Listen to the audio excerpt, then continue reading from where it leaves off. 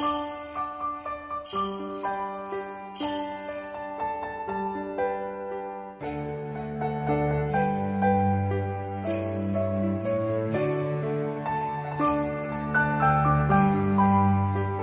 eight, guys. Here it is.